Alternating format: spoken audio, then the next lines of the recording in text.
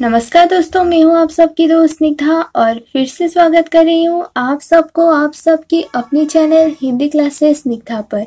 दोस्तों, आज हम बात करने जा रहे हैं हमारे खड़ी बोली हिंदी के ऊपर, जिसमें हम जानेंगे खड़ी बोली का स्थान मतलब भौगोलिक क्षेत्र कौन कौन सा है, खड़ी बोली का नामकरण किस तरह से हुआ है, ऐसा बहुत कुछ। तो देर किस बात की है दोस्तों? चलिए आज की आलोचना शुरू करते हैं।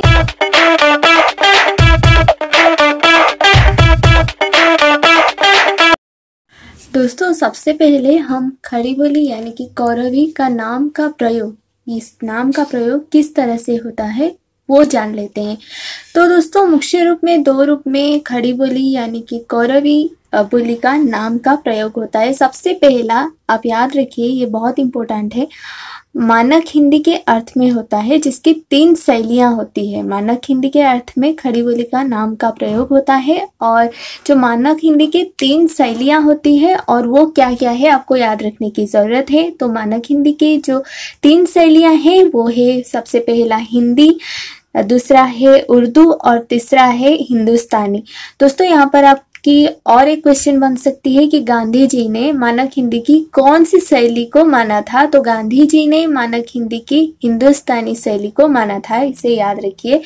तो सबसे पहला किस अर्थ में ये इस नाम का प्रयोग होता है? मानक हिंदी के अर्थ में होता है, जिसकी तीन शैलियाँ होती है। मानक हिंदी की तीन शैलियाँ क्या क्या हिंदी, उर्दू और हिंदुस्तानी। और यहाँ पर और एक क्वेश्चन हो सकता है गांधी जी ने हिंदी की मानक हिंदी की कौन सी शैली को अपनाया था मतलब माना था? था तो गांधी जी ने मानक हिंदी की हिंदुस्तानी शैली को माना था। तो दोस्तों, और दूसरी प्रयोग जो होती है, कौरवी, यानी कि हमारी खड़ी बोली नाम का प्रयोग, वो है दिल्ली मेरठ के आसपास की बोली की अर्थ में।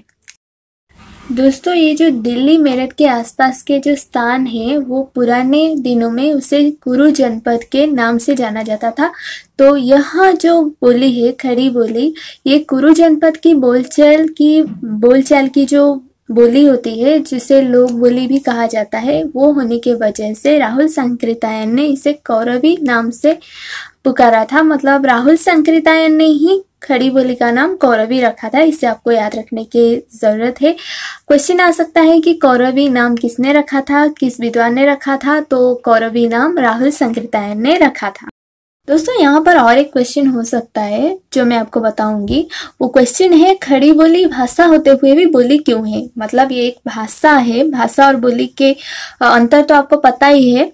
भाषा हम उसे कहते हैं, जिसमें साहित्य की रचना होती है, जो बड़े क्षेत्र की साहित्य, साहित्यिक भाषा होता है। और बोली उसी क्षेत्र की कोई छोटी छोटी जैसे कि ब्रज भाषा, ब्रज अवधि ये सब बोलियाँ हैं। कुछ क्षेत्र की बोलियाँ कुछ क्षेत्र की लोक बोली। तो यहाँ पर सवाल ये है कि खड़ी बोली भाषा है हमारे राजभाषा भी खड़ी बोली ही है तो खड़ी बोली भाषा होते हुए भी बोली क्यों है? तो सिंपल सा आंसर है, मैं आपको बताती हूँ दोस्तों। मुख्य रूप में, मुख्यतः दिल्ली मेरठ की बोली को ही खड़ी बोली कहा गया। मतलब दिल्ली मेरठ के आसपास के लोग खड़ी बोली में ही बातचीत करते थे, उनकी लोक बोली खड़ी बोली ही था। बाद में इसका तथा कुछ और बोलियों का आधार लेती हुई जो भाषा सामने आई, वो भी इसी नाम से ही पुकारी जाने लगी। मतलब जो मानव भाषा बनी बाद में, वो इसी नाम से ही पुकारी जाने लगी। पर ये वो खड़ी बोली का तथा कुछ अन्य बोलियों के आधार में वो बनी थी। इस तरह से भाषा तो बन गई खड़ी बोली, पर भाषा हो जाने पर भी मूल नाम जो था खड़ी बोली, उससे उसका छुटकारा नहीं मिला। मतलब वो उससे छुटकारा नहीं पा सका। तो दोस्तों, उसके बाद हम जानेंगे कि खड़ी बोली का विकास किस अपभ्रंश से हुआ है। क्योंकि दोस्तों, आपको पता है कि हमारे जितने भी नई आर्य भाषाएँ हैं, जितनी भी आधुनिक आर्य भाषाएँ हैं, वो अपभ्रंश से ही विकसित हुई है। तो खड़ी बोली का विकास हुआ है सौर सैनी अपभ्रंश के उत्तरी रूप से। आपको ये याद रखने की बहुत बहुत ज़रूरत हुई है कि खड़ी बोली का विकास सौर सैनी अपभ्रंश के उत्तरी रूप से हुआ है। दोस्तों, अब हम खड़ी बोली के भौगोलिक क्षेत्र के बारे में चर्चा करते हैं। मतलब कौन कौन सा स्थान है जहाँ पर खड़ी बोली लोक बोली के हिसाब से इस्तेमाल होता है।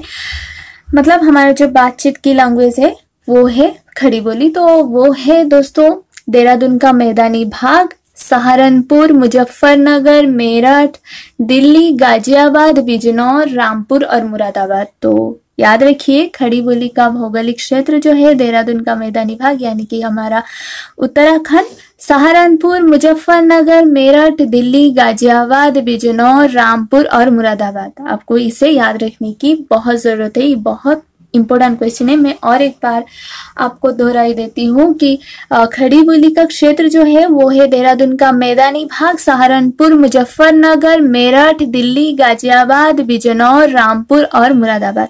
तो दोस्तों खड़ी बोली में पर्याप्त मात्रा में हमें लोक साहित्य भी उल्लेख मिलता है, जिसमें पवाड़े जो है, वो मुख्य रूप में उल्लेख्य है। तो इसे याद रखने की ज़रूरत है कि खड़ी बोली की जो लोक साहित्य है, उसमें सबसे फ़ेमस सबसे प्रसिद्ध कौन सा है? पवाड़े। दोस्तों, अगर आपको खड़ी बोली हिंदी की ध्वनिया, उसके स्वर, व्यंजन आदि के बारे में कुछ जानकारियाँ चाहिए तो आप मुझे नीचे कमेंट बॉक्स में बोल सकते हैं, मैं उसको लेके भी वीडियो बना दूँगी। दोस्तों, आज मैंने खड़ी बोली हिंदी की जितनी भी इम्पोर्टेंस पार्ट थी एग्ज़ाम्स रिलेटेड में, उसको लेके आज वीडियो बनाई हूँ। लेकिन फिर भी अगर आपको स्वर, व्यंजन ध्वनिया आदि के बारे में जानकारी चाहिए, आप मुझे बताइए। मैं उसको लेके भी वीडियो बना दूँगी। दोस्तों, उम्मीद है आज की वीडियो आपको ज़रूर पसंद आई होगी। हाँ दोस्तों, अगर कोई ऐसी सवाल आपके मन में है जिसकी जवाब की जल्दी हो आपको तो आप मुझे मेल भी कर सकते हैं और नीचे कमेंट बॉक्स में भी पूछ सकते हैं। आप सबके साथ बहुत जल्द मुलाकात होगी दूसरी नई वीडियो के साथ। तब तक के लिए नमस्ते।